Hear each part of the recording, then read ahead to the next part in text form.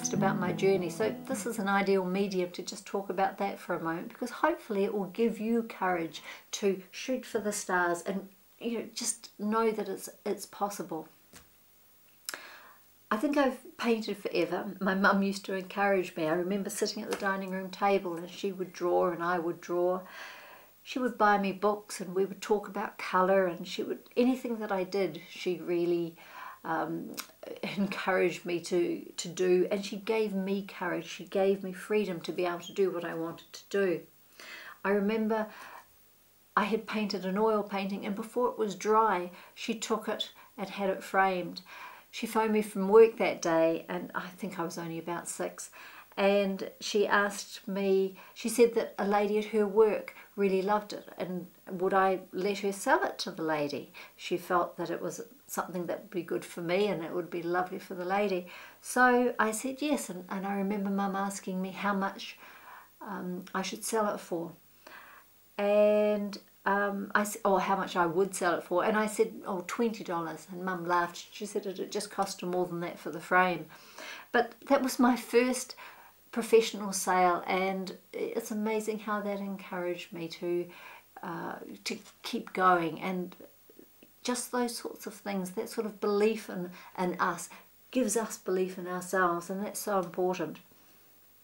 From there I started working in oils and really through my teenage years right up into my early 20s I would maybe paint one or two paintings a year and you know when you're working and you've got a young family that's you know all the time you have.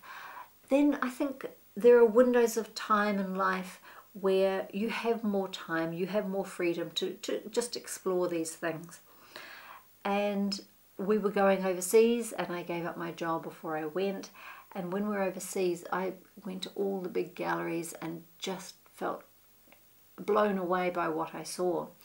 And I was so passionate about it that when I came back, my husband said, go and get the best materials you can, give yourself the best chance. And if it doesn't work, you can't blame the materials. So that was really quite amusing. But, you know, it really did set me on my path to discovering what I really wanted to do. And, and it helped me um, explore all sorts of different mediums and now I paint exclusively in oil or watercolour. I love both mediums equally.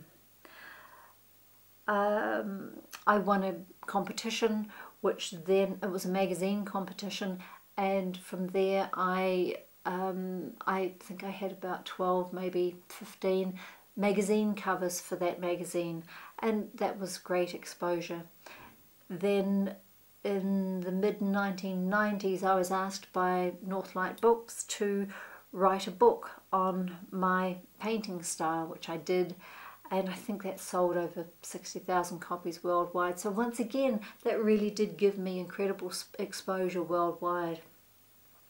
The demand for teaching and for DVDs became very strong. So we walked down that road and we created DVDs and we're still selling the DVDs and creating more DVDs and they've they have gone worldwide and the feedback every day from those is fantastic. It really is quite quite humbling.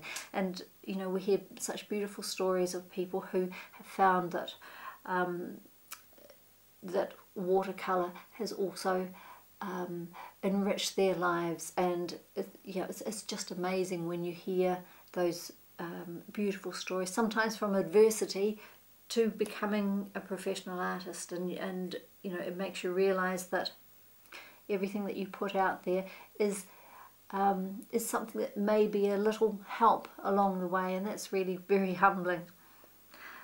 Um, we now, um, I, I, exhibit about every three or four years um, and we usually get between three and four thousand people who come to the they're just two day exhibitions. They come from throughout New Zealand Australia and even some from North America so that's really lovely. Um,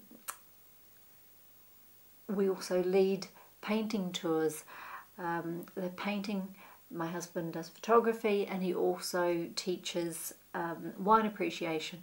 So these tours are to Europe. So, you know, that's another extension of the art. And we go to galleries and, and we sit in the ancient streets and we paint.